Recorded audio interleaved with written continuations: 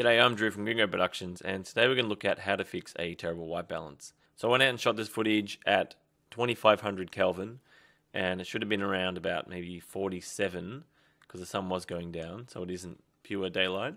So there's many different ways to do a white balance. You can do it in the curves, um, you can do it using temperature and tint, but today we're going to be doing it using our highs, mids, and lows. So let's bring up our scope and let's choose waveform. Let's make it big. So looking at our waveform, you can see we have a lot of blues in the whites, or the high, and a lot of blue in the mids. We more or less have a lot of red in the blacks. So we're going to do this by balancing the white area by using the gain, and then we're going to balance the mids by using gamma. So I see a lot of people on YouTube when they do a white balance, they tend to concentrate on the gains and lift, and they don't really try to fix the midtones. Now, I believe if you fix the gain and the gamma, then your blacks will more or less fall into place with just a little bit of adjustment. But it's more important to fix these and then do this one last. So let's leave our scopes up and not even look at the image and let's balance our shot. So let's push some warmth in and let's try to get these three lines here as close to as possible. Okay.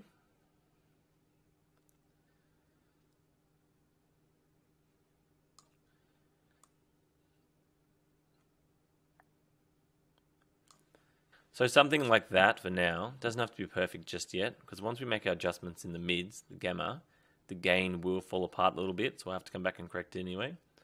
So with our mids, let's try and get this part as even as possible.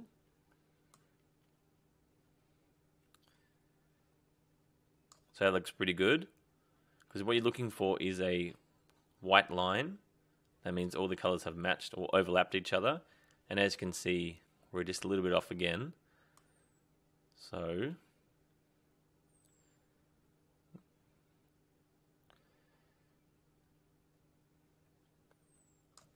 that looks pretty good. Maybe put a little bit more into the midtones. Alrighty.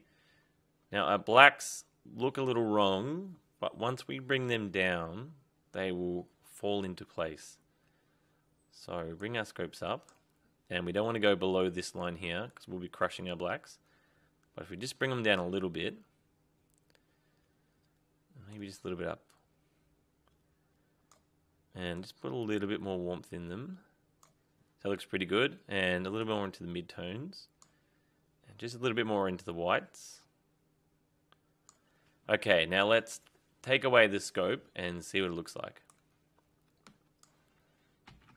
Okay, so now we have our image. So before our corrections, we were this blue overcast. And now with our corrections, we have a neutral color. By neutral, I mean our blacks are black and our whites are white. Okay, now that we have our neutral looking grade, let's make some adjustments to put a little bit of life into it. So new node, Alt S, and let's put some contrast into it. We'll do this using the curves. So if we bring our scopes back, we can see that we're quite low. So we don't want to crush them. So let's start around here. And just do a slight curve.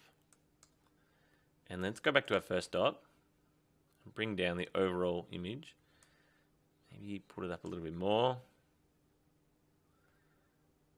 And then let's put some saturation in. Okay, so the image looks quite good, except we are still a little bluey green. So we need to fix that. So let's make a new node. So let's look at the area that we need to fix with our qualifier. So it's saying here that our midtones are a little bit off. At a lower midtone, sorry. So, our blacks are pretty good. But just above the blacks are a little bit off. So let's make some adjustments using the curve. So let's find an area that's not right. So as you can see, 35, 49, 61. It's a bit unbalanced. So let's push that red up a little bit. And let's bring that blue down. Oops. And then let's push the green. A little bit too much on the red. So let's take some of that green out and some of that blue out.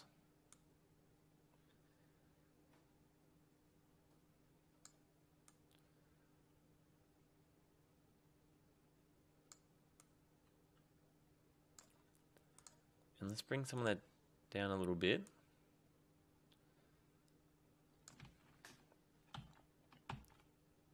We're a little bit blue still, just a tiny little bit.